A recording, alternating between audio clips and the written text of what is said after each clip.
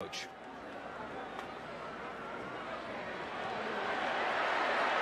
Making two slip tackles at least as Pierce gets inside the five. Slip. Center of gravity in their pads. Like watch the patience. Gets in there, kind of feels the leverage of the defense going across, cuts back.